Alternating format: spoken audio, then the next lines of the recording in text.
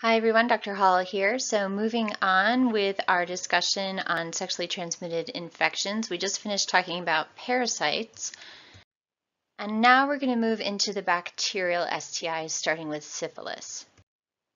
Before we do, just a reminder, the three bacterial STIs we're going to be learning about in class are chlamydia, gonorrhea, and syphilis. And I just want to introduce you to, so I grew up in New York State in the 70s, which is a really interesting time. And this is actually a YouTube link, uh, which should also be in the description below, of a commercial that was actually aired on television when I was a kid. And so just to explain VD or venereal disease is what we used to call sexually transmitted infections. Uh, so VD was the phrase back then in the 70s and uh, you really owe it to yourself to watch this commercial. It's just awesome. All right, so I want to tell you some of the main concepts that apply to all the bacterial STIs. So a reminder that there's the big three that we're going to be talking about, gonorrhea, chlamydia, and syphilis. For all of these, they are typically curable. So we can treat these successfully with antibiotics in almost all cases in this country. So that's really important to know. There are some other types of STIs that once you have it, you just kind of have it for the rest of your life. That's not the case with bacterial STIs. If you've had it once, however, that doesn't mean you can't get it again. So having a previous infection does not make you immune. So if you've had chlamydia in the past, guess what? You can get it again. So just kind of like strep throat, where you can get that multiple times, uh, same thing applies for all of the bacterial STIs. So infection does not make you immune. You can get them multiple times. This is different uh, compared to some of the viral ones that we're going to talk about. And then finally, these can't be transmitted by fomites, right? So we talked about in the parasites, you could potentially get pubic lice from a tanning bed or trichomonas from a toilet seat. It's not common, but it can happen. Uh, that doesn't happen with the bacterial STIs. You need direct contact with infected tissue or fluids.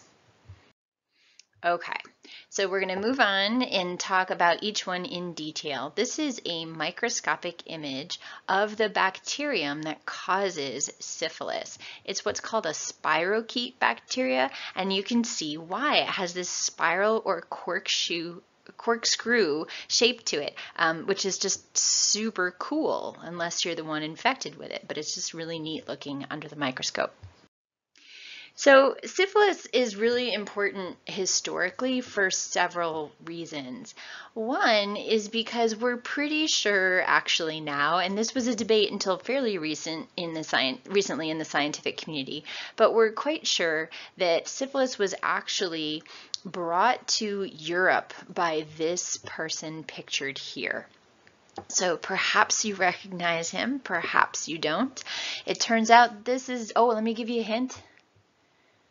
Does that help? so this is none other than Christopher Columbus. So syphilis, or kind of a progenitor disease of syphilis, was already present in North America, North and Central America, when Christopher Columbus and his crew arrived in the Americas. And while they were here, many of them had sex with the native population, often under force, and some of them brought some of the women on board with them and took them as slaves. And uh, they got infected with syphilis and then they returned to Europe. And then we see very soon after 1492, all of a sudden the first cases of syphilis in Europe start cropping up. Uh, it's really interesting. So Charles VIII of France actually was really keen on invading and conquering and acquiring Naples. And uh, when his soldiers did, and they finally went into Naples, Naples already had syphilis because Christopher Columbus and his men had brought it there. And then when the troops went back home, they basically spread it throughout all of France. And so for a while it was called the French disease, but then the French called it the Italian disease. Whoops, kitty. All right. So, uh, that's when it first started to spread around Europe. And many historical figures are believed to have had syphilis. There's some debate whether um, Henry VIII might have actually had syphilis and that that was the cause of the chronic non-healing wound he had on his leg and perhaps cause of his senility and death eventually. Um, Ivan the Terrible, we're pretty sure, had syphilis. People conjecture that uh, Shakespeare may have had syphilis. Stop it sorry, cat, because he developed a tremor in his 30s, which is really unusual to have a shaky hand. Um, so there's lots of interesting historical cases of syphilis. Another important piece of the history of syphilis is uh, really unfortunate, actually. So in the early parts of the 20th century, so early 1900s, a study started in Tuskegee, Alabama. And what they did was they enrolled black men in the South, in the Tuskegee area, who had syphilis. And the purpose of the study was to observe them over time and then better understand the things that syphilis infection does to people over time. When the study was first begun, there was no known treatment for syphilis at all. Um, we had yet to discover an effective treatment for syphilis. Many things had been tried historically, including uh, mercury, the metal, actually.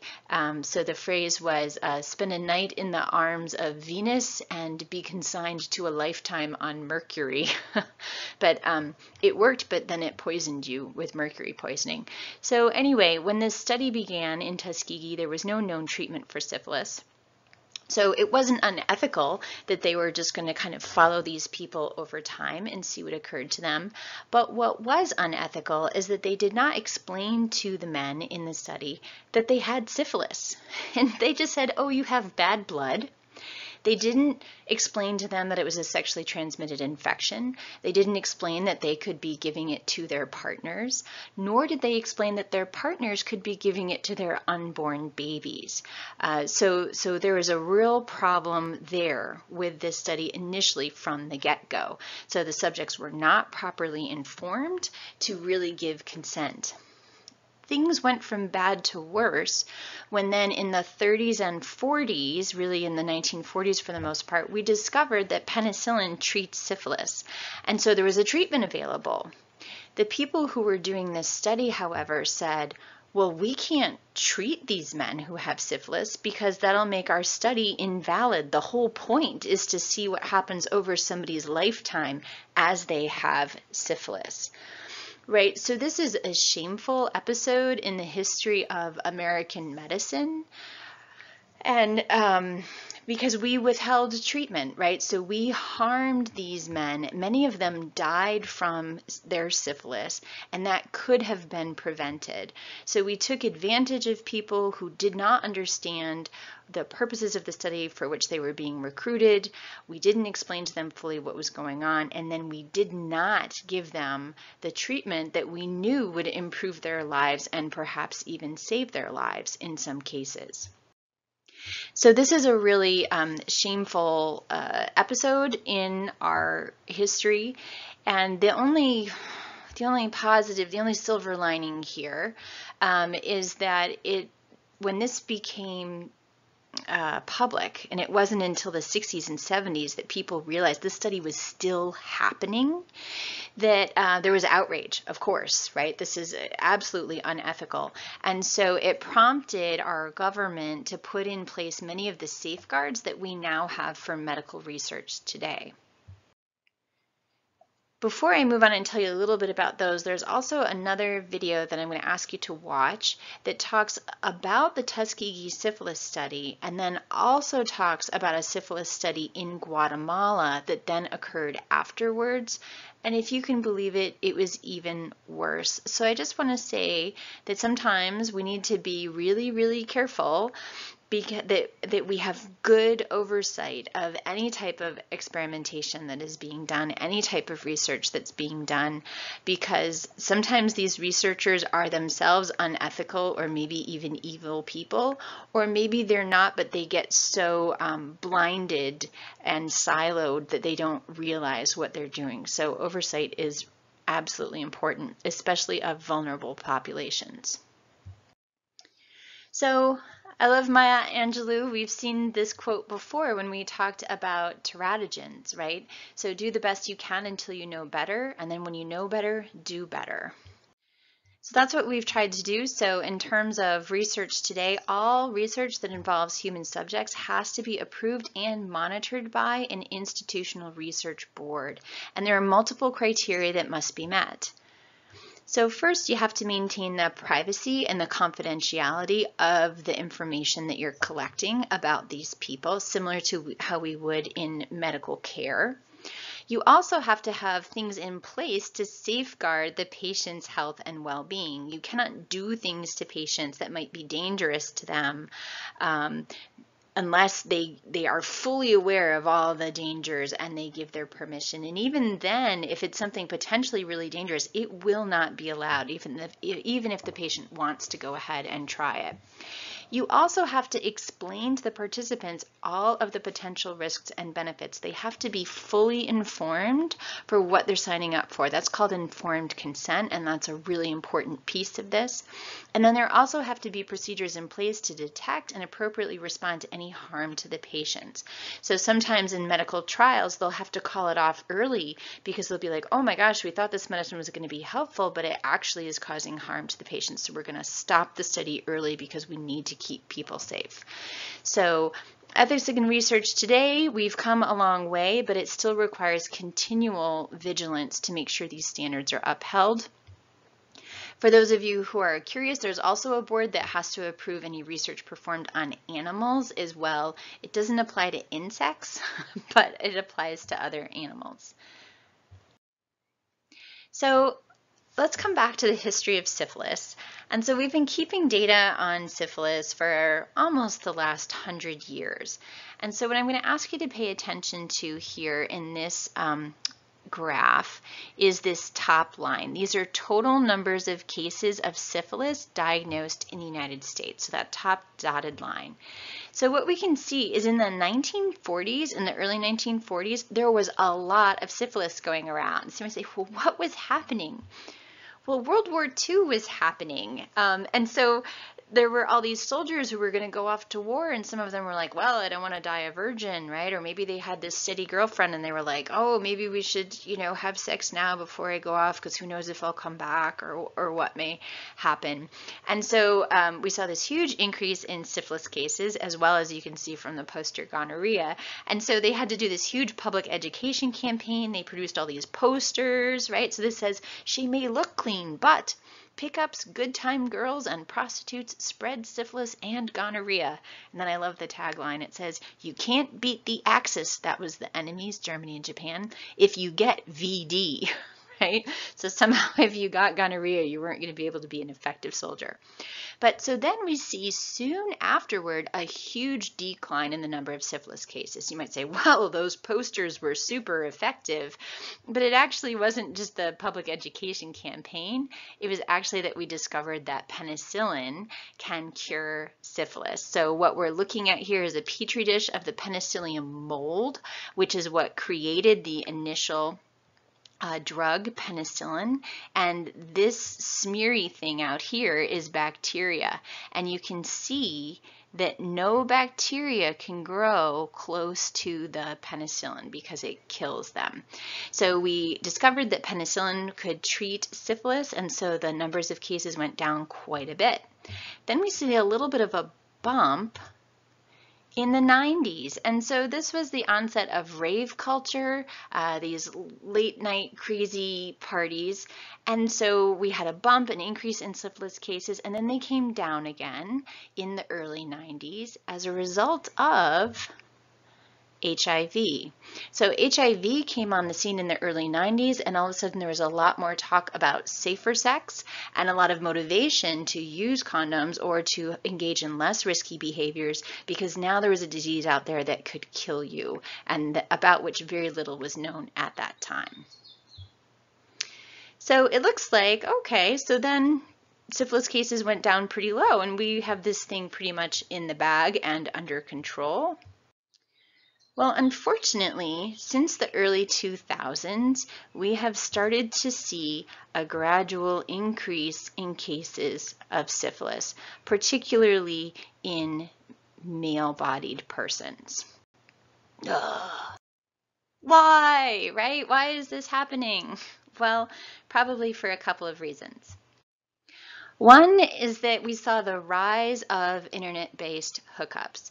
So Craigslist and Manhunt.net and all kinds of these other platforms started cropping up that allowed people to find partners, anonymous partners that they could hook up with for casual sex. And so this had a huge impact. You may think that, oh, that only was an issue in places like New York City or San Francisco, but these are actually some of the casual encounter ads for our area, Northwestern Wisconsin, um, about a year ago. And this is just, you know, a couple of days worth of these ads. And you can see there's lots of people that are putting these ads out there. And I can tell you from our public health um, comrades, colleagues, they tell us people do answer these, right? So if you just want to have quick anonymous sex with no strings attached, this was um, a great way to make that happen. So Congress last year passed a new law that actually made Craigslist and other website domains potentially liable if any of these ads turned out to be uh, prostitution rings. And so because of that, these um, sites for casual encounters have since been taken down in almost all of these platforms. So maybe that will help bring syphilis back down. It'll be interesting to see. So, you know, the online anonymous sex was problematic from a public health standpoint in several ways. It was much easier to arrange casual sex via the internet right? So in the olden days, you had to go to a bar, you had to try to be there at the same place as somebody else who wanted to just have an anonymous hookup, and then you have to kind of figure out who's interested and make your overtures and all that kind of stuff. So it was doable, and it obviously happened, but it was a little bit more difficult, time intensive, and less convenient. So once these online abilities uh, kind of cropped up, these casual encounters became much more common, and it was much easier for people to have a very high number of sexual partners in a very short period of time. And we definitely saw that occurring. Also, in a situation like this with anonymous uh, casual sex, there's little to no incentive for the participants to be honest with each other. So you're not necessarily going to say uh, whether you have a history of an STI or be honest about your past condom use or last time you got tested, right? Who cares? This person doesn't know you from Adam and they'll never see you again. Also, people wouldn't usually give their name or number. At most, there might be a username. Uh, so there are no strings attached. But then if it turned out somebody got infected, we had no way of knowing who they had been with, right? So we couldn't track down and notify contacts, right? And tell them, hey, you might have this infection. Let's get you tested. Let's get you treated. And then let's also figure out who your contacts were, right? So we couldn't do any contact tracing. So it's very problematic. So those online casual hookups really were part of what fueled that increase in syphilis cases. The other thing um, that has been found to contribute is the increasing rates of crystal meth use. Crystal meth as a drug tends to cause a significant increase in sexual activity and libido in general, as well as risk taking.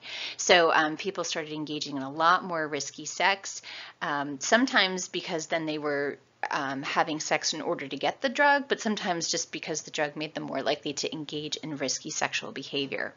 So just a little PSA from uh, the sheriff's department, right? So here's an image of some people at their first arrest for crystal meth possession.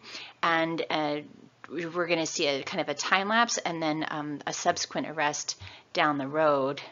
And you can see the devastating impacts of this drug. So I'm just going to put it out there. If anybody ever offers this to you, just say no. I know that sounds really crazy and corny, but um, this is one of those drugs that people become really addicted to really quickly and is just devastating.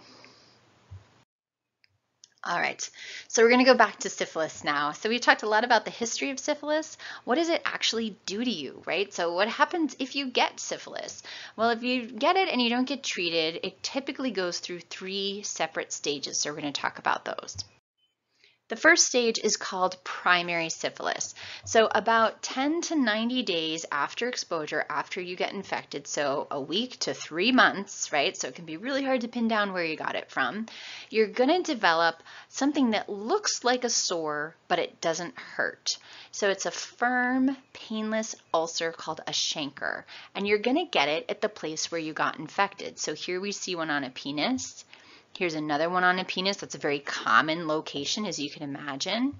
Here's one on the vulva.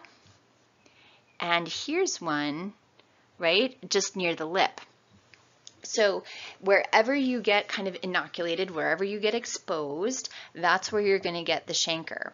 Now, these are chancres that are in places that you can see, but as you can imagine, you could also get this inside the vagina where you couldn't see it, inside the anus or the rectum where you couldn't see it, or even inside the mouth where you might not be able to see it or feel it.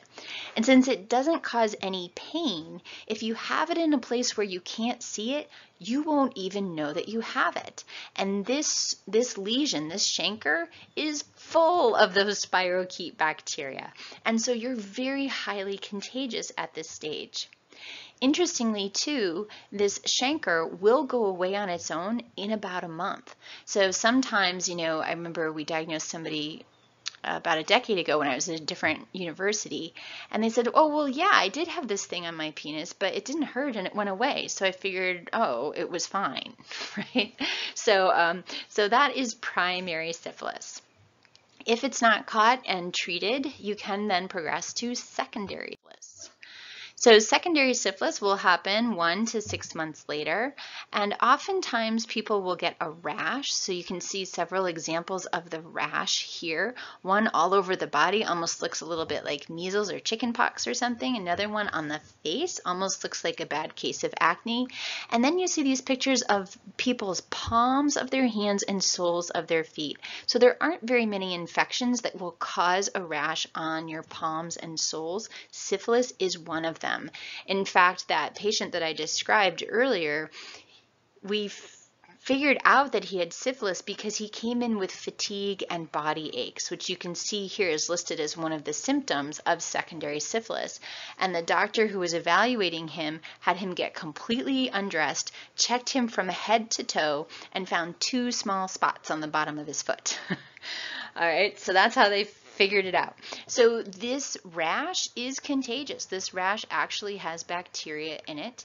And sometimes these lesions can be really subtle, right? So if you just have a couple spots on the bottom of your foot, right, you may not even notice it. So you'll also see here I said that not only can you have a rash, sometimes you can have some strange looking warts. I'll show you what those look like right? So these look kind of like regular warts, but kind of different actually. And I know we haven't done warts yet, but we will. And it looks like here is probably where this person's chancre was, and that is healing. And now they have these funny warts, very strange, kind of waxy looking. All right, there's some perianal ones.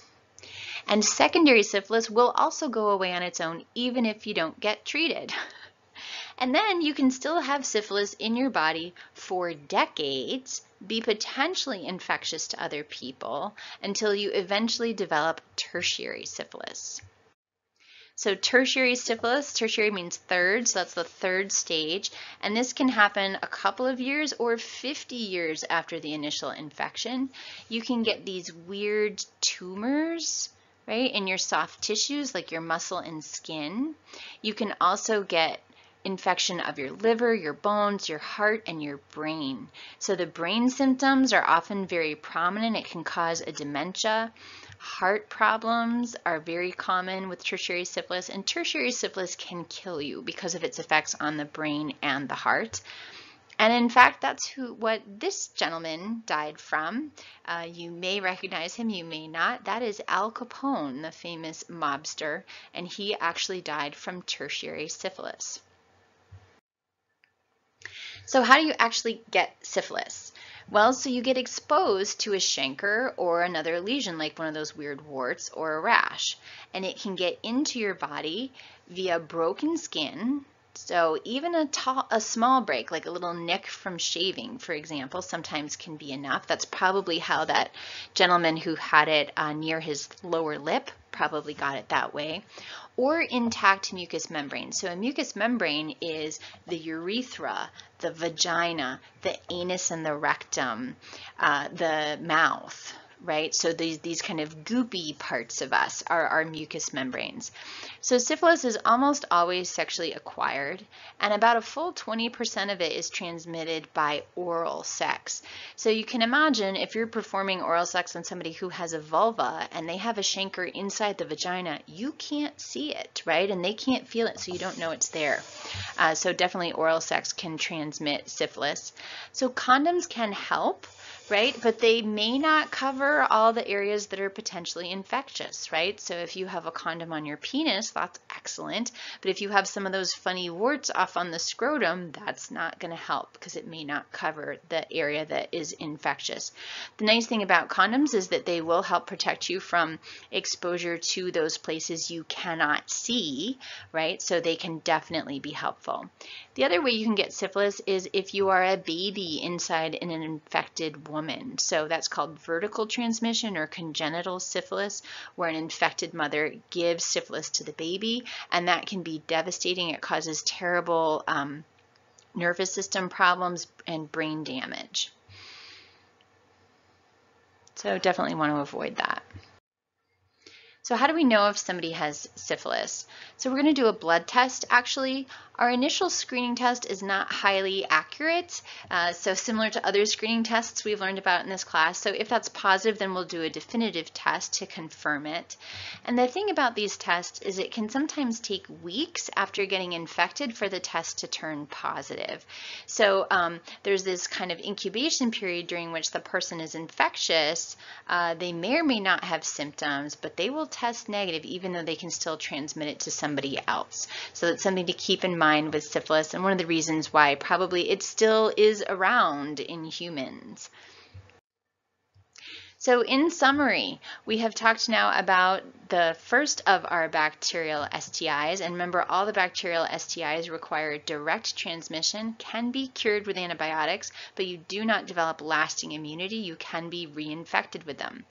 Syphilis has a long history brought to Europe by Columbus. Many historical figures had it, and we had shameful abuses in the Tuskegee syphilis study and even worse abuses of participants in Guatemala. And we seemed to get it under control once we discovered that penicillin uh, could treat effectively, but there have been some recent increases in syphilis rates due to online hookups and crystal meth three stages of infection. So primary syphilis is that painless chancre uh, that you may or may not see. Secondary syphilis, you can have a fever, rash, some strange warts, you're still contagious, um, and tertiary, which can be fatal. So the way you get it is with some type of contact to an infected lesion, so a wart, a rash, a chancre that comes into contact with broken skin or intact mucous membranes like the urethra, the vagina, the anus, or the throat. There's a blood test, uh, which is great, but that can take weeks to turn positive, and a highly effective treatment with penicillin. So that's it for syphilis. We'll pick up next time talking about gonorrhea and chlamydia.